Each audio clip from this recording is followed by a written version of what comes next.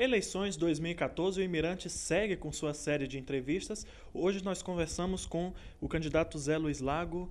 O candidato, seja muito bem-vindo. Muito obrigado, boa tarde. O seu tempo começa a contar a partir de agora e eu começo é, lhe perguntando sobre um assunto é, importante, assim, que a gente, inclusive no Imirante, já fez uma série de reportagens a respeito da mobilidade urbana. O senhor é, defende no seu programa de governo algumas alternativas. Quais seriam essas alternativas viáveis para o Maranhão?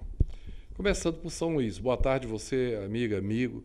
É, por São Luís, tem que se fazer os três viadutos, né? Da Forquilha, do Calhau e, e, e, e da, da, e da Guajajaras, né?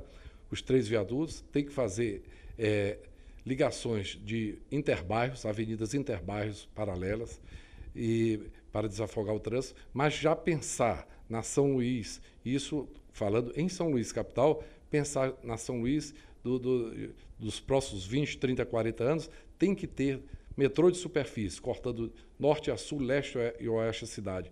São transportes mais rápidos, é, é, é, não poluentes, baratos, confortáveis e com, é, é, com capacidade para atender uma cidade que passou de um, mais de um milhão de habitantes. Além, logicamente, do que se tem, procurar faz, faz, fazer fa, faixas seletivas para os ônibus. Nessa perspectiva, é, se pensaria aí numa, é, na, na, na é, questão da região metropolitana, enfim, é, integrar esses municípios? Não tenha dúvida, hoje já estão praticamente juntas, cornobadas, a cidade de São Luís, Pasto Lumiar, Ribamar e Raposa, formam esse conjunto que é, hoje representa mais de 1 milhão e 100, 1 milhão, quase 1 milhão e 200 é, mil, mil, habitantes.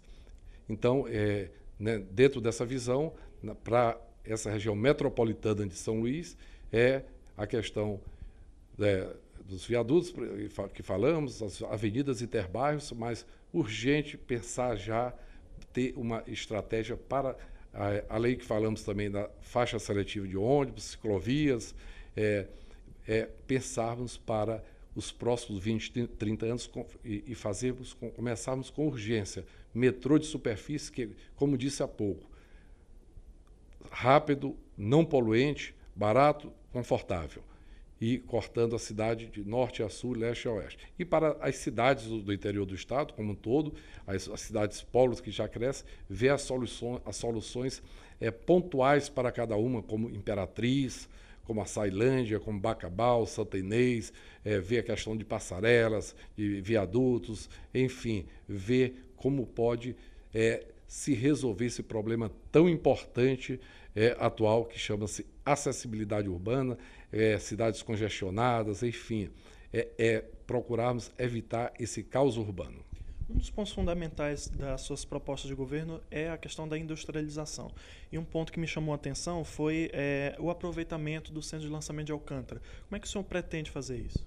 Ali seria como é, na cidade de São José dos Campos, em São Paulo, na região do Vale do Paraíba, tem um, um, um, um patrimônio nacional nosso que deu certo, que é, é, é nacional, é do Estado, que é a Embraer que é ao lado da empresa Bombardier canadense e da Boeing americana, é uma das três mais importantes empresas do mundo. Aqui, no Polo de Alcântara, além de ser um local geoestrategicamente importante para o lançamento de foguetes, poderíamos criar uma indústria aeroespacial é, para produzir aviões, desde aviões mais simples para a agricultura, como até aviões mais complexos para exportação, como é, é, é acontece com a Embraer, que prestou um grande serviço de desenvolvimento, não só do, do país, mas lá em São Paulo e mais precisamente do, fez é, um, surgir em seu entorno vários tipos de indústria. Então, faz, aproveitar o Centro Espacial de Alcântara para, para fazermos um centro industrial de indústria aeroespacial gera tecnologia, gera inclusão social, gera emprego, gera é, impostos para o nosso Estado, investir na saúde, na, é, na saúde, na educação, na segurança pública, aqueles, aqueles itens, aqueles pontos que são essencialmente de responsabilidade do Estado. Em quanto tempo isso seria possível? Ah, logicamente, um, em, em, quatro anos de governo, não tenha nenhuma dúvida, com um governo comprometido com o povo, é, com parceria com o governo federal, não, tem, não nenhuma dúvida que isso, em um, um governo com boa intenção, com, com determinação, com certeza, no, nos seus dois, três primeiros anos, irá estar implantada o centro de é, indústria aeroespacial no município de Alcântara, Maranhão. No campo da saúde, é, o seu programa de governo fala sobre a construção de socorrões de alta complexidade em nove cidades. Também lhe pergunto, em quanto tempo isso seria possível? Dois, três anos, todos estariam prontos. O de Imperatriz, o de Santenês, Bacabal, Pinheiro, é, Pinheiro, o de Chapadinha, o de Balsas e dois em São Luís. São Luís já precisa de dois é, hospitais de alta complexidade. Por quê? Um até, eh, ficaria mais ou menos localizado naquela região ali do, perto do eixo Itaquibacanga, porque atenderia nossos irmãos e nossas irmãs que moram ali, que são mais de 350 mil habitantes hoje. Atenderia o Polo Coroadinho, Fátima, ali Areinha e, e Polo Centro. E o outro lá na, no São Cristóvão, que atenderia o Polo São Cristóvão todo, ou seja, atenderia São Bernardo, Vila Brasil, todo aquele conjunto de bairros que formam o Polo, é, o Polo São Cristóvão, e também atenderia os nossos irmãos da zona rural. Candidato, aproveitando os últimos segundos aí para o senhor se dirigir aos seus eleitores. Agradecer esse espaço mais uma vez pelo convite, espaço democrático, e peço a você, meu irmão e minha irmã, que no dia 5, naquele momento que você entrar na cabine para apertar a maquininha, o Zé Luiz Lago pede o seu voto. O meu número é 54.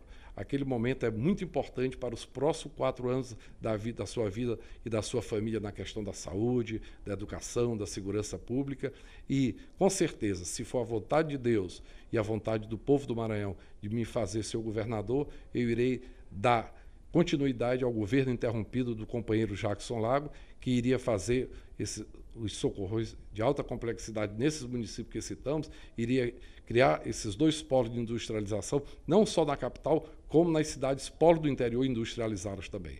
Muito obrigado, fique com Deus é, e peço mais uma vez, analise a vida e o passado de cada candidato, naquele momento importante, é 54, governador Zé Luiz Lago.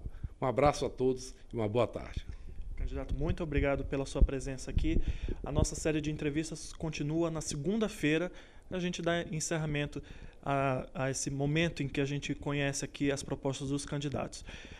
Continue assistindo aos vídeos e também a cobertura completa no imirante.com.